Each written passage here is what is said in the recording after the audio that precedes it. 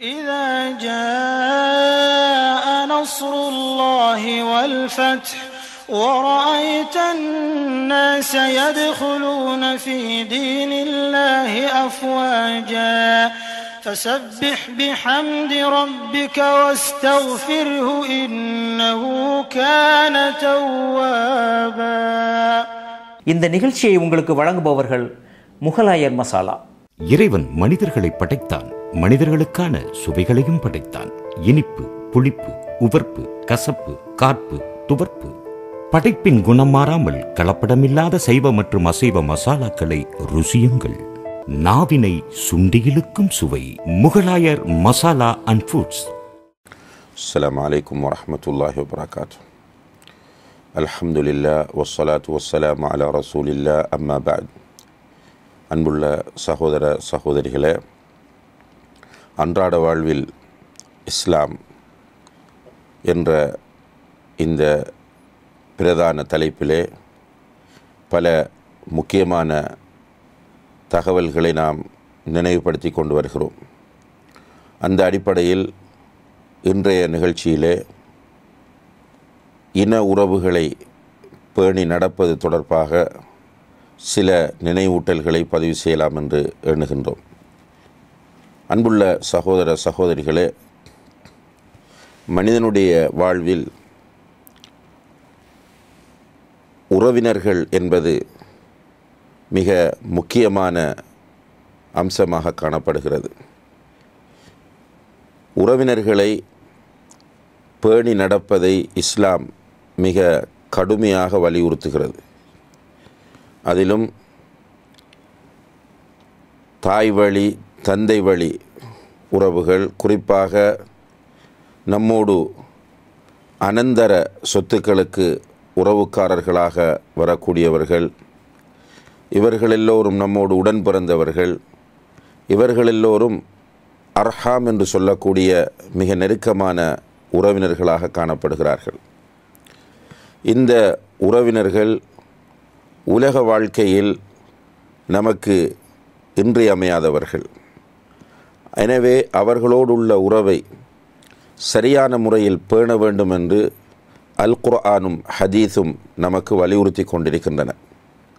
ரசூல் ஸல்லல்லாஹு அலஹி வசல்லம் அவர்கள் இன உறவுகளை பேணி நடப்பதை பல்வேறு கோணங்களிலே நமக்கு வலியுறுத்தி இருக்கிறார்கள் அதிலே குறிப்பாக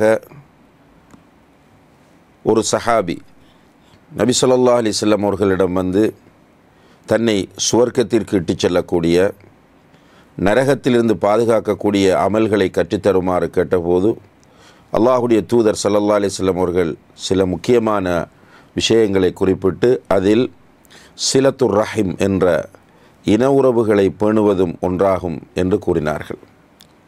இன உறவுகளை பேணுவது மனிதன் சுவர்க்கம் செல்வதற்கு அதாவது ஒரு முஸ்லீம் சுவர்க்கம் செல்வதற்கு மிக முக்கியமான வழியாக அடையாளப்படுத்தப்படுகிற அதே நேரத்தில் ரசூல் சல்லா அலிஸ்லாம் அவர்கள் சொல்லுகிறார்கள் லா இதுகுலுல் ஜன்னத காத்தி ரஹிம். இனபந்துக்களை பேணாமல் அவர்களை துண்டித்து வாழக்கூடியவன் சுவர்க்கம் செல்ல மாட்டான் என்று சொன்னார்கள். உண்மையிலேயே இன உறவுகளோடு சேர்ந்து வாழும்போது நம்முடைய ரிஸ்கிலும் பறக்கச் செய்யப்படுவதாக ஆயுளும் நீடிக்கப்படுவதாக நபி சொல்லாஹ் அலை வசல்லம் அவர்கள் சொல்கிறார்கள். யாரொருவர் தன்னுடைய ரிஸ்கில் அபிவிருத்தியும் நீண்ட ஆயுளும் பெற விரும்புகிறாரோ ஃபல் யசில் ரஹிமஹு. அவர் தன்னுடைய உறவினர்களை பேணி நடக்கட்டும் என்று நபி சொல்லாஹ் அலை வசல்லம் அவர்கள் சொல்கிறார்கள். இன உறவுகளை ஒரு மனிதன் பேணி நடக்கும்போது அவன் பரக்கத்மிக்க வாழ்க்கை வாழ வாய்ப்பை பெறுகிறான் என்பதை இந்த ஹதீஸிலிருந்து நம்மால் புரிந்து கொள்ள முடிகிறது. இன உறவுகளை பேணுகிற மனிதனுக்கு இந்த பாக்கியம் இருக்கிற அதே நேரத்தில் இன உறவுகளை துண்டிக்கிறவனுக்கு கடுமையான நெருக்கடிகளும் சிக்கல்களும் ஏற்படும் என்பதை இந்த ஹதீஸின் எதிர்கருத்தாக நாம் புரிந்து கொள்ள முடிகிறது. அதே நேரத்திலே அன்புள்ள சகோதர சகோதரிகளே இன்றைக்கு நம்முடைய வாழ்க்கையில் இன உறவுகளை பேணுதல் என்பது எந்த நிலையில் இருக்கிறது என்பதை பார்க்கும்போது சின்ன சின்ன விஷயங்களுக்கெல்லாம் இன உறவுகளை துண்டிக்கிற நிறைய முஸ்லீம்களை நம்மால் இன்று அவதானிக்க முடிகிறது. சின்ன விஷயங்கள். அவர்களுடைய வீட்டில் ஒரு திருமண பேச்சுவார்த்தை நடைபெற்றது. அதற்கு நம்மை அழைக்கவில்லை. எனவே இன உறவு துண்டிக்கப்படுகிறது. அவர்களுடைய வீட்டுக்கு வந்த ஒரு பொருள் நமக்கு தரப்படவில்லை என்பதனால் இன உறவு துண்டிக்கப்படுகிறது.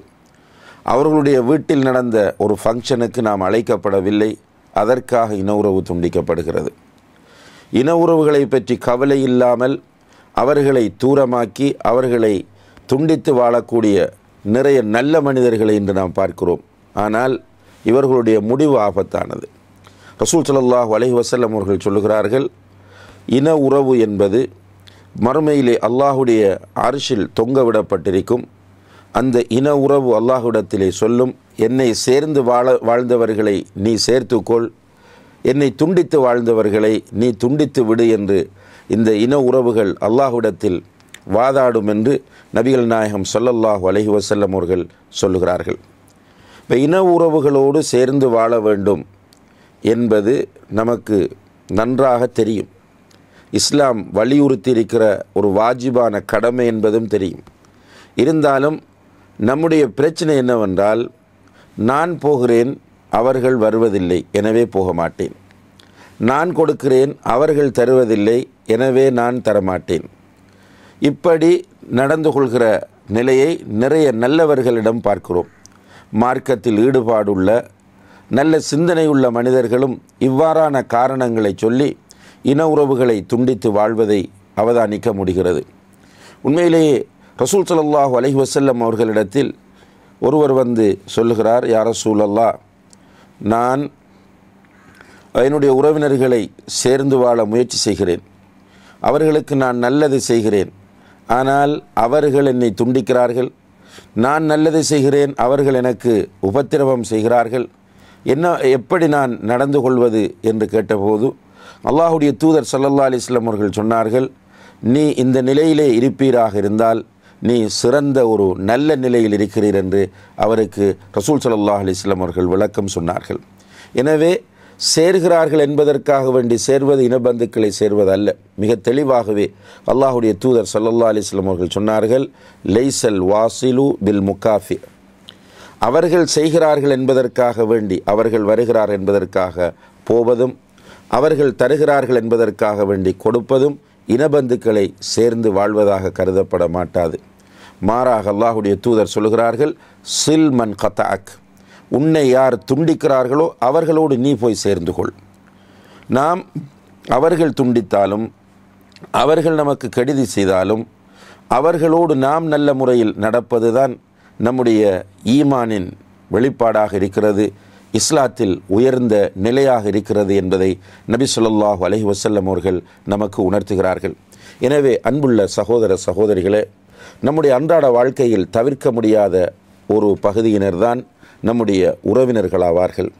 இந்த உறவினர்களோடு நம்முடைய நட்புகளை நம்முடைய உறவை நாம் பேணி நடக்க வேண்டும். அதற்காக வேண்டி நாம் என்ன தியாகங்கள் செய்ய வேண்டி வந்தாலும் செய்வதற்கு தயாராக வேண்டும். குறிப்பாக இன உறவுகளை பலப்படுத்துவதற்காக அவர்களுடைய வீடுகளுக்கு அடிக்கடி சென்று வருவது அவர்கள் நோய்வாய்ப்படும் போது அவர்களை நோய் விசாரிக்க சென்று அவர்களுக்காக துவா செய்வது அவர்களுடைய வீடுகளில் நல்ல நிகழ்வுகள் நடைபெறும் போது அதிலே நாமும் பங்கெடுப்பது அதே போன்று அவர்களுடைய வீட்டில் ஒரு ஜனாசா இடம்பெற்றுவிட்டால் அதிலே நாம் கலந்து கொள்வது அவர்களுடைய கஷ்டங்களில் பங்கெடுப்பது நல்ல விஷயங்களில் கலந்து கொள்வது அவர்களுக்கு அன்பளிப்புகளை கொடுப்பது அவர்களுக்கு சதக்காக்களை பரிமாறுவது அதே போன்று ஜக்காத்திற்கு தகுதியானவர்களுக்கு ஜக்காத்தை கொடுப்பது என்று இந்த அடிப்படையில் அவர்களோடு உள்ள உறவை நாம் பேணுவதற்கு முயற்சிய வேண்டும். குறைந்தது இன்று எல்லோரிடமும் தொலைபேசி வசதி இருக்கிறது. அந்த தொலைபேசியின் ஊடாகவாவது அவர்களோடு உள்ள உறவுகளை புதுப்பித்து தொடர்புகளை பேண நாம் முயற்சிய வேண்டும். அதே நேரத்தில் அவர்களை மன்னிக்கக்கூடியவர்களாகவும் அவர்களுடைய விஷயத்தில் சகிப்புத்தன்மை உள்ளவர்களாகவும் நாம் இருக்க வேண்டும். ஏனென்றால் இன உறவுகளை பேணுவது என்பது இஸ்லாம் வலியுறுத்திய ஒரு மார்க்க கடமையாகும்.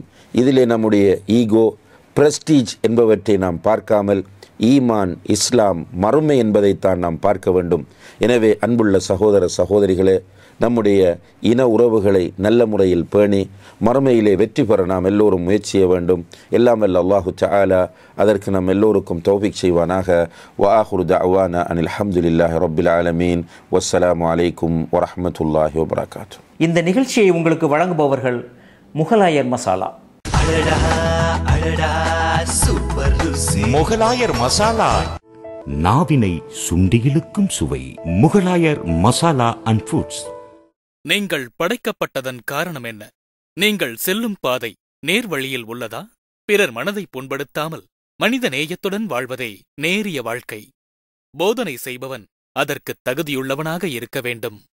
உங்கள் குழந்தைகள் நேரிய வழியில் செல்ல உங்கள் பிள்ளைகள் இஸ்லாமிய மார்க்கத்தை முழுமையாக அறிந்து கொள்ள பிரஸ்டன் இன்டர்நேஷனல் காலேஜ் ஆங்கிலம் மற்றும் தமிழ் வழியில் தமிழ்நாடு திறந்தநிலை பல்கலைக்கழகத்தால் அங்கீகரிக்கப்பட்ட பிஏ மற்றும் எம்ஏ இஸ்லாமிய கல்வி. உங்கள் குழந்தைகள் தலை சிறந்த மார்க்க அறிஞர்களிடம் கல்வி பயில அரியதோர் வாய்ப்பு. கல்விச் சேவையில் ஒன்பதாம் ஆண்டை நோக்கி பிரஸ்டன் பன்னாட்டு கல்லூரி சேர்க்கை நடைபெறுகிறது. இந்நிகழ்ச்சியை பற்றி உங்கள் கருத்துக்களை மக்கள் மடல் அட் ஜிமெயில் டாட் காம் என்ற மின்னஞ்சல் முகவரிக்கு அனுப்பி வையுங்கள்.